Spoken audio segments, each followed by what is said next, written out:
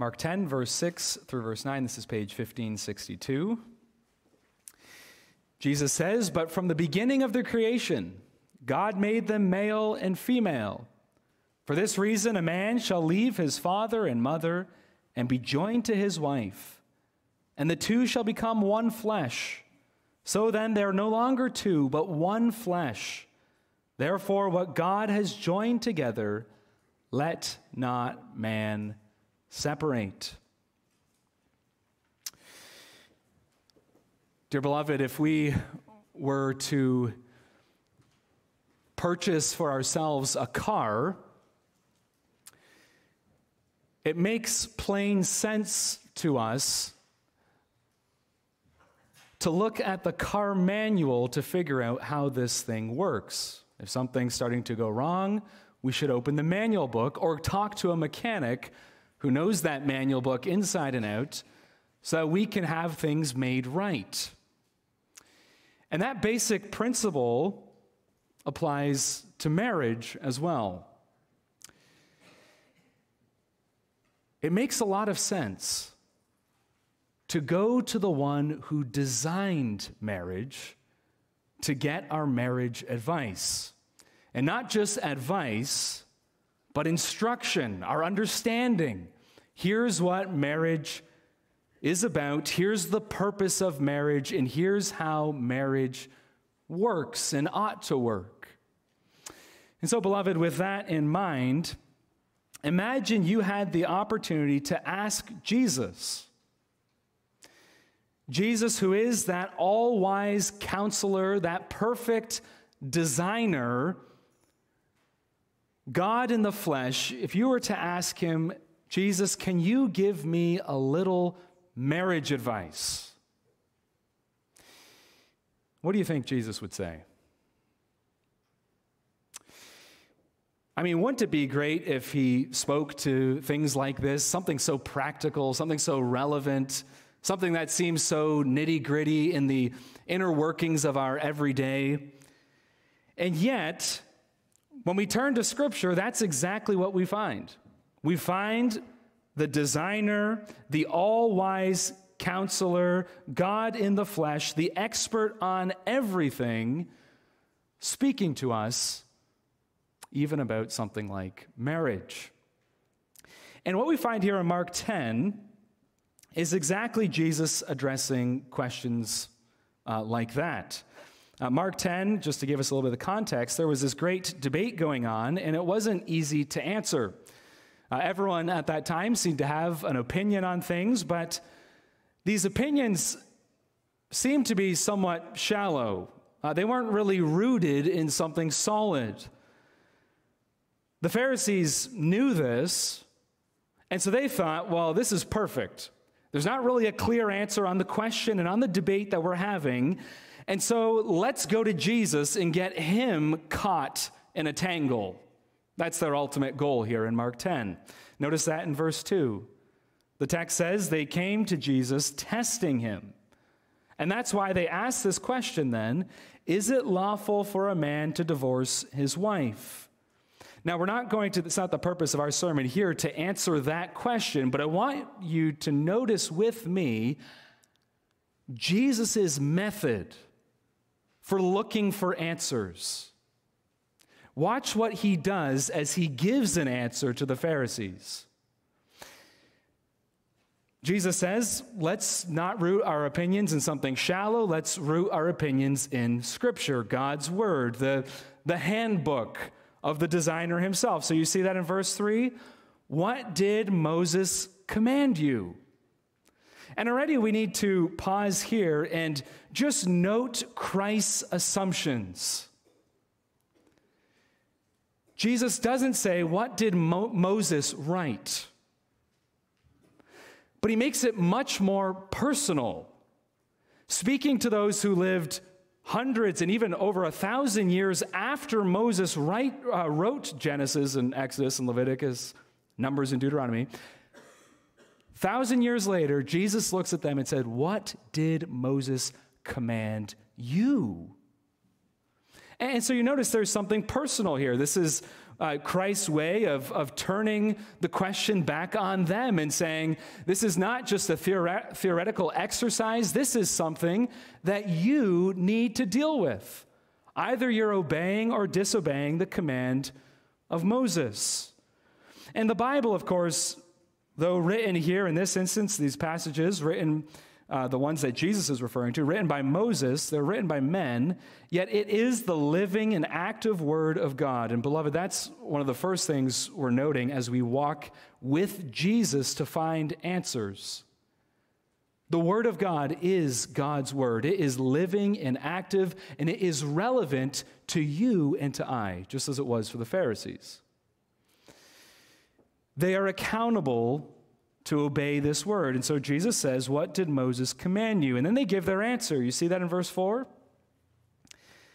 They said, Moses permitted a man to write a certificate of divorce and to dim- dismiss her.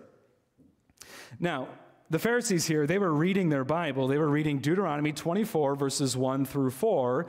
And as they were reading that passage, they were concluding Moses permits divorce.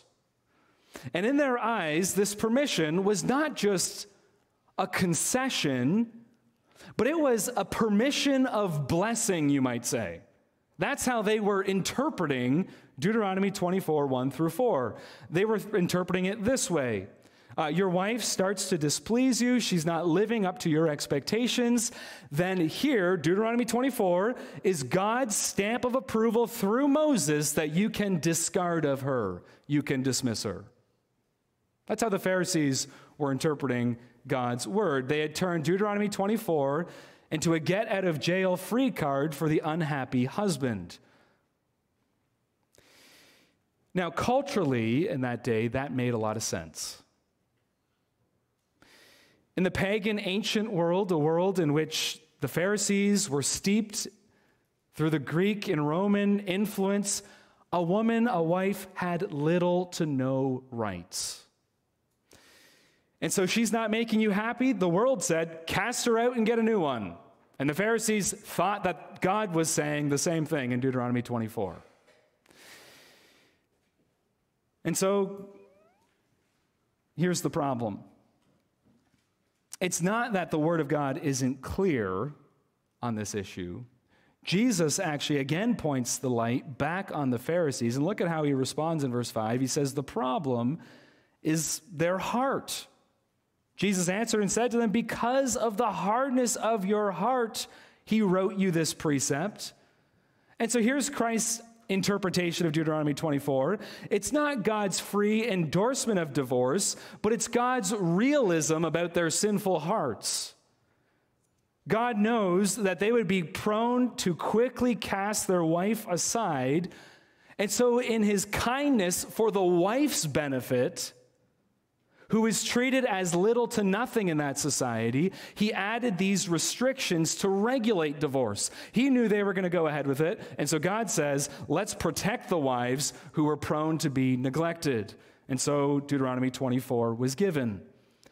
Again, our, we're not seeking to answer the divorce question and where are there exceptions to that rule in Scripture this, this afternoon, but here's what we're looking to do. Notice what Jesus does next. Because how can we guard ourselves from being like the Pharisees? How can we guard ourselves from reading our own preferences into a text? As the Pharisees, they had the Word of God, Deuteronomy 24, and yet there they were reading what they wanted to read into that text. Great, God says I can divorce my wife. Here we go.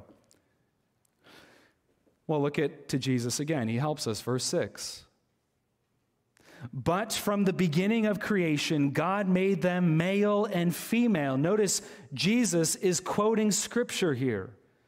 In fact, he's, he's quoting the scripture we read, Genesis chapter 1. And in doing so, Jesus is modeling for us how to read the Bible. Here's the principle interpret scripture with scripture.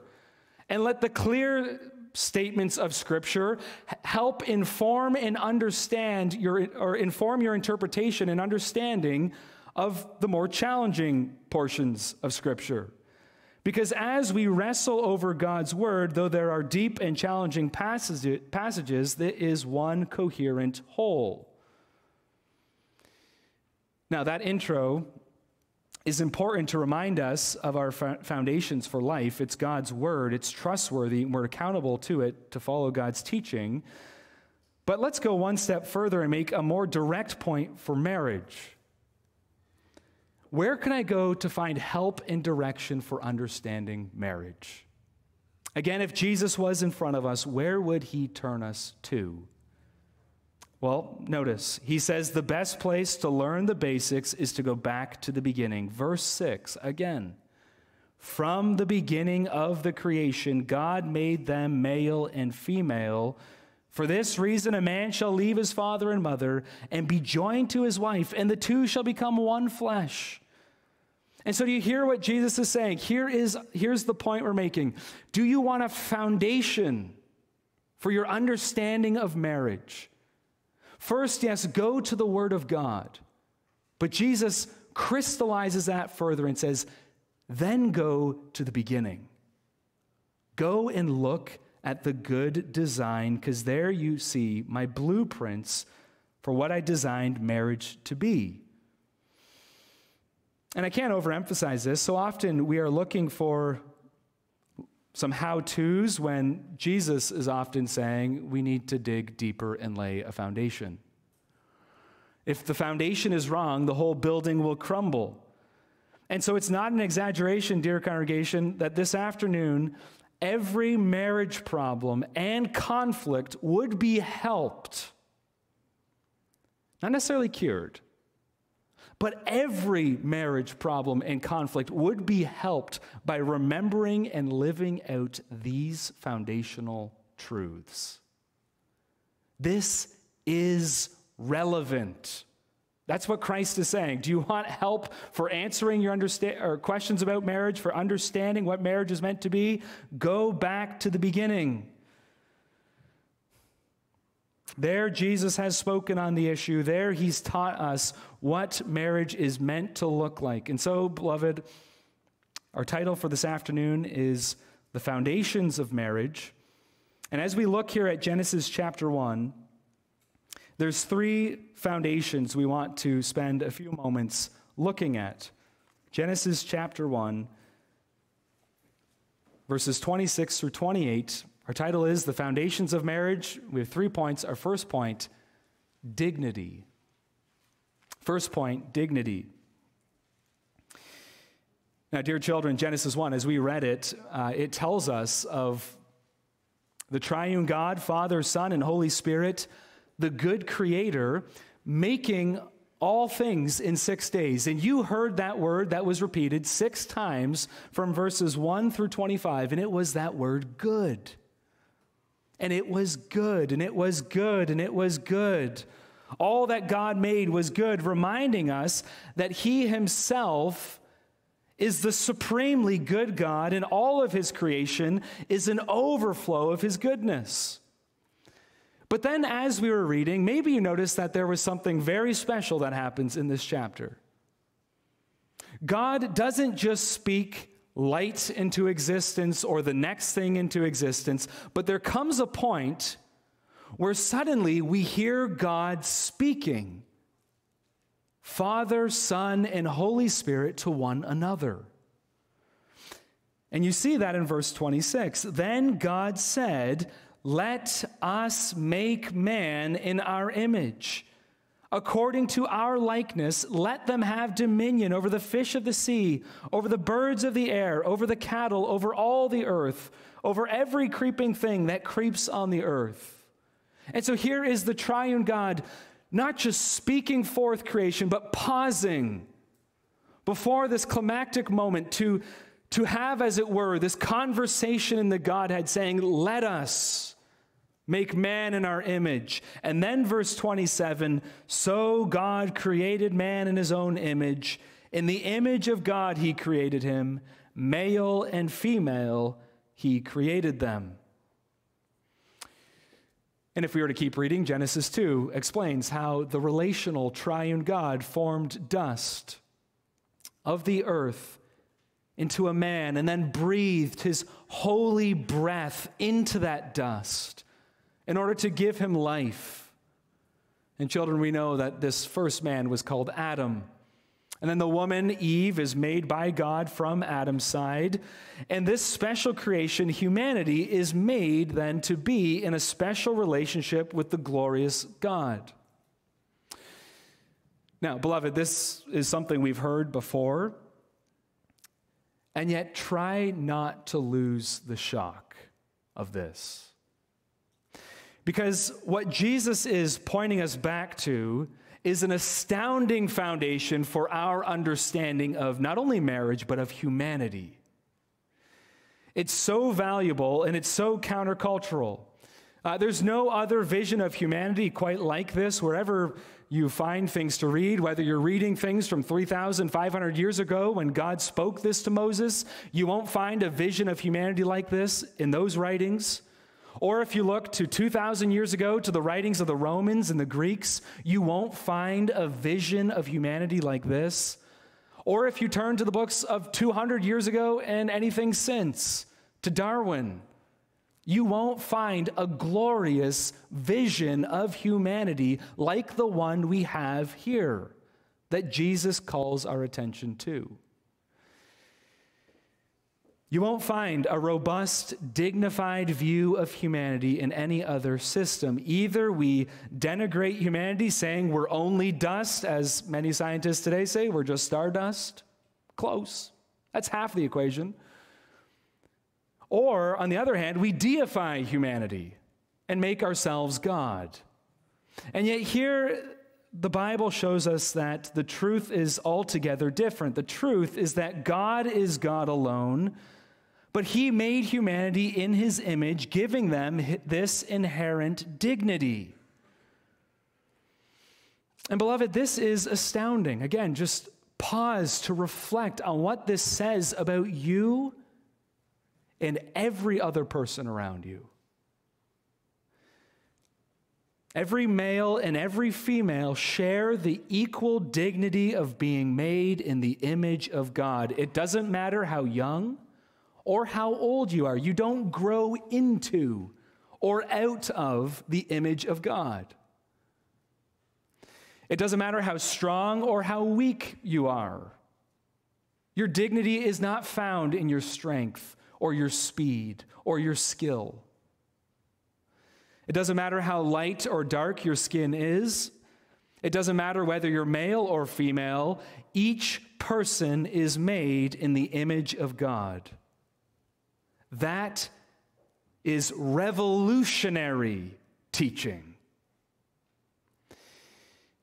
And it's the first great truth that we must receive from Jesus as a foundation stone for every human relationship, including marriage.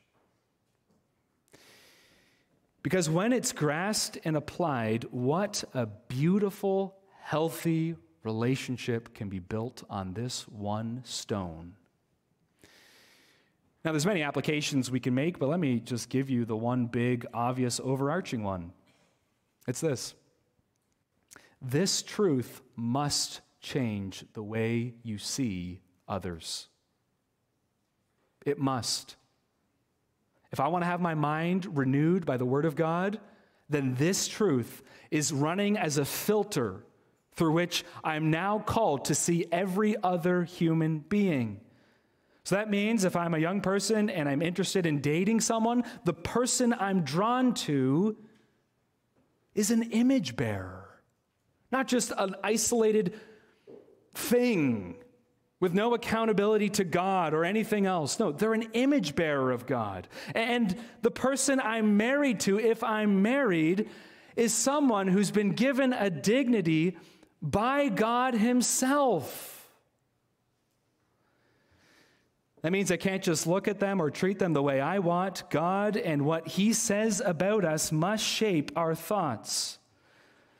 Now, beloved, in the first sermon of this series, remember how Jesus gave us a text which was to be like a sharp knife to help us cut out the idols of our hearts? Well, now here's the one who has who is the creator, he's saying, go back to the good beginning and see me, the creator, God, giving Adam and Eve as a good gift to one another.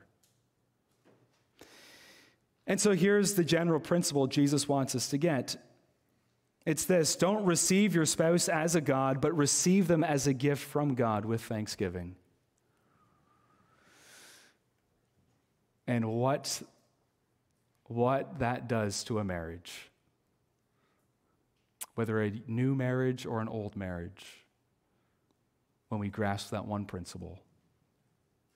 They're not God, but they are a gift from God to be received with, with thanksgiving. And so, dear married friend, have you been receiving your spouse as a gift from God?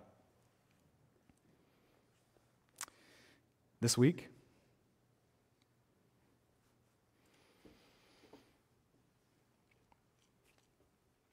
Every marriage, even healthy ones, will go through and, ups and downs, and there will be times where things are going well, where it feels like your spouse is a gift and it's easy to be grateful. But then there'll be other seasons where they don't feel like a gift. Maybe you've been in a time of conflict or drifted apart. And so here you are, and you find yourself maybe um, locked in a cage of bitterness between you and your spouse. And each day or week as it passes, another bar is just placed in the windows of your prison of bitterness. Well, one surprising key that can begin to open up that prison of bitterness is prayer. Our first responsibility is our own heart. And so start praying this way Father, help me to receive my spouse as a gift and pray that maybe for a week. And, and then you might be surprised to notice that you start praying, Thank you, Father, for my spouse who is a gift. And over time, to start communicating that to your spouse through your actions and to your words. And so there's one application for us that's derived from this basic truth that we're all familiar with. Am I treating my spouse, looking at them as an image bearer? Who is not God, but who is a gift given from the hands of God. And so, do my actions to my spouse communicate appreciation for them as a gift?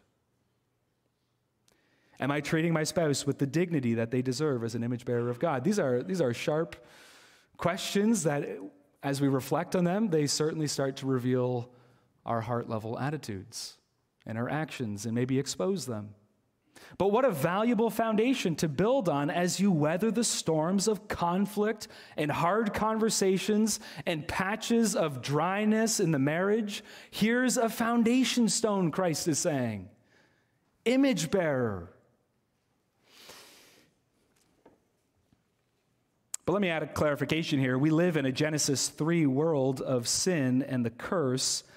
And it's possible if someone is struggling with an abusive spouse to be finding their view of God just further distorted by hearing this fact that I'm supposed to be seeing this person who's inflicting harm upon me, I'm supposed to see them as a gift from God? Is that really what God wants me to hear if I'm in that situation? Well, dear friend, if you are in an abusive relationship, that is a horribly painful place to be, and the application is very different. It's actually this God wants you to know that you are made in his image. And therefore, it's not okay that someone is treating you as less than.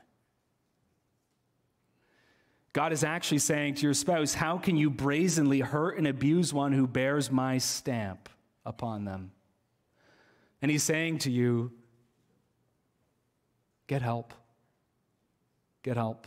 It isn't right. It isn't okay. I hate abuse. I am a city of refuge for the oppressed, and my people ought to be a city of refuge as well. And so get help. And yet, here is the foundation uh, stone number one this idea of dignity as image bearers and living with a God honoring respect for my spouse. But there's a second uh, foundation here. Notice it's that of distinction. Distinction. Uh, verse 27 So God created man in his own image. In the image of God, he created him. Male and female, he created them. Now, for centuries, there was no question about this, but in the past few years, things have changed. Um, we aren't so sure anymore about this whole distinction idea. Just two weeks ago, I was reading a slogan with a picture of blobs on it that were representing people. And it, the slogan said this We're all the same, we're all different. As if to say, we're all humans, we're all the same, but after that, we all can, I guess, decide because we're all different. There's just humanity and then there's difference. That's it. And it's each individual person determining their own difference. Now, that may sound like freedom to some, but it does open up a Pandora's box of anxiety and confusion that our world is also recognizing as we have our young people attempting to figure out who they are a boy, a girl, or any other sort of thing, even an animal. Freedom is found as we come back to the foundations. Our good creator tells us the truth about ourselves. All humanity, all humans have dignity being made in his image, but notice there is a crucial distinction that's woven into God's creation of humanity. Men and women are different. God made them differently. This is a good distinction that we are to learn to embrace. Now, again, we live post Genesis 3, and we're not implying that's, that that there's no one out there who really struggles with things. We're saying that. We even expect that living in a Genesis 3 world. So there are real depressing struggles in this area. But the solution is to embrace what God says, to go back to the foundations, and then to use our maleness and our femaleness in His service to care for the creation He has given to us. Now, again, this isn't just uh, a needed cultural comment. This is a comment that's foundational, foundational for every marriage. Uh, men and women are different, and if you don't believe it, then get married. And you will discover it. Men and women are different. Not only physically different, but mentally, emotionally, chemically different, wired differently, designed differently. Males have more testosterone if we're just looking at the biology, and therefore are usually bigger, stronger, and have more aggressive tendencies. Women are generally more in tune emotionally and relationally. The one is not better or worse. Both reflect God's good image, but they are different. The question for us is well, how can I, if I'm a man, channel my strength for productive rather than destructive purposes? Just saying I'm different than a woman and that I'm stronger or something like that isn't a free pass to go and use my strength to tear down. Channeled wrongly, men can be vicious and damaging. Channeled rightly, men can be valuable providers and protectors. How can a woman channel their emotional and relational intuition? Channeled wrongly, women can be sowing seeds of discord, gossip, overly critical, reading into situations. Channeled rightly, women can use this seemingly sixth sense to nurture and care and cultivate relationships so that they bear fruit. These are good gifts. They're different gifts, and they're called to be used in God's service. Now, in your marriage, you can be frustrated about your spouse's differences. Uh, you can be against their differences, wishing they were more like you, and so much counseling actually starts there. It's my spouse, my spouse, my spouse, my spouse, and then they're saying, my spouse, my spouse, my spouse, my spouse. Notice the Lord, we'll find out this over and over again. The Lord is saying, You deal with your heart. And yes, there will be a time probably to, to address your spouse and, and work through that, but let's start with us. And so we can be against each other as we notice our differences, you know, locked in one house together, with living with a different person. It can be a challenge. Or we can say, Lord, help us to embrace our differences for the good of our team. And so that's the question of application. How can we work together using our differences in a way that complements each other rather than competes against each other? The Lord is setting out this family vision where maleness and femaleness in their differences are be, to be used in His service for the good of the team. And so that's the goal. How can we work together for God's glory in our home, in our family, in our church, and in our community? Yes, acknowledge the differences.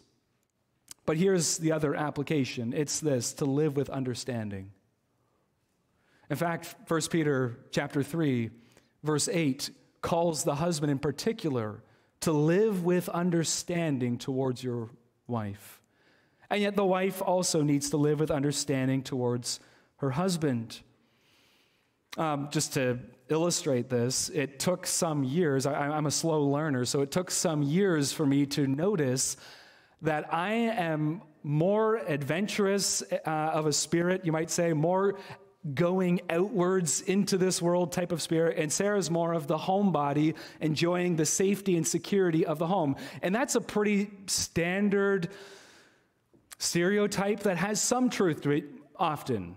Not always, but often the guy is usually more, let, let's go out, as it were, and the wife is, let's stay home.